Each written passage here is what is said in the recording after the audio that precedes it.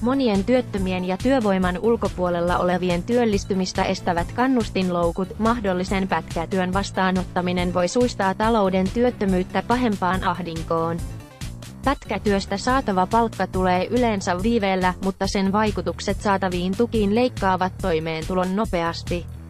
Nykyinen järjestelmä ei siis kannusta työn vastaanottamiseen, ottamalla vastaan pätkätyötä voikin samalla menettää esimerkiksi asumistukensa. Tukijärjestelmä on lisäksi pirstaleinen, yhteensä 140 erilaisen tuen yhteisvaikutukset ja toisensa kumoavat vaikutukset voivat yllättää työllistyvän. Tällaiset kannustinloukut pakottavat laskemaan kannattaako vastaanottaa työtä, tukiviidakon leikkaajaksi suunnitellaan ja kokeillaan perustuloa, se kuitenkin korvaisi vain pienen osan etuuksista. Nykyisen kokeiltavana olevan mallin mukainen perustulo maksettaisiin kaije ja rahoitus siihen kerättäisiin verottamalla palkansaajia entistä enemmän. Perustulo voisi myös passivoida kansalaisia, eikö yhteisistä varoista voisi tukea niitä, jotka oman elämäntilanteensa vuoksi eniten apua tarvitsevat, yksilöllisiä tarpeita ei kuitenkaan voida selvittää hyvinvointiyhteiskunnan säilyttämistä pohtivan ministeriön tasolla.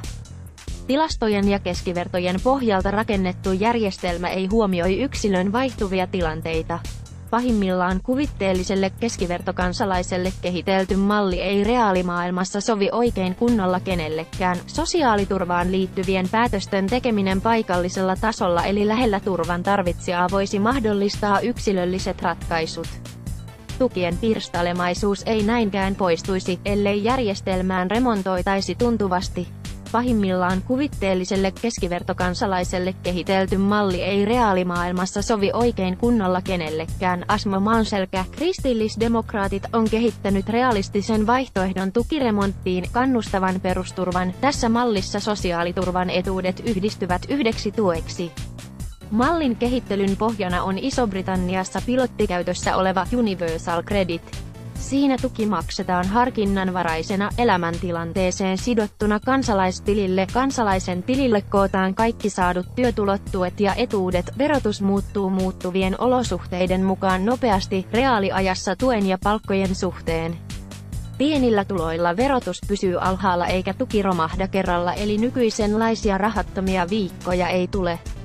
Jokaisen elämäntilanne kartoitetaan ja yksilölliset muuttujat, esimerkiksi lasten lukumäärä ja asuinpaikkakunta, otetaan huomioon. Järjestelmä poistaa nykyisen tukiviidakon hakemusten ja tositteiden kaauksen.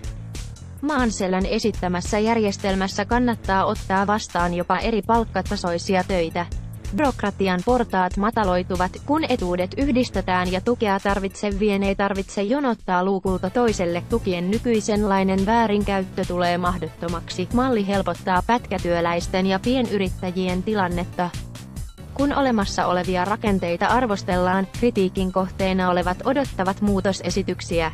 Maanselän kannustava perusturvamalli tarjoaa selvän käsikirjoituksen muutokseen, tarvitaan vain poliittista yhteistyötä, jolla kansalaisten tarpeet tunnustetaan ja estetään hyvinvointiyhteiskunnan raunioituminen. Leena Askeli, kristillisdemokraattien Oulun paikallisosaston puheenjohtaja, Kempeleen valtuutettu lue lisää lukijoiden mielipiteitä päivän Kalevasta, näin lähetät mielipidekirjoituksen Kalevaan.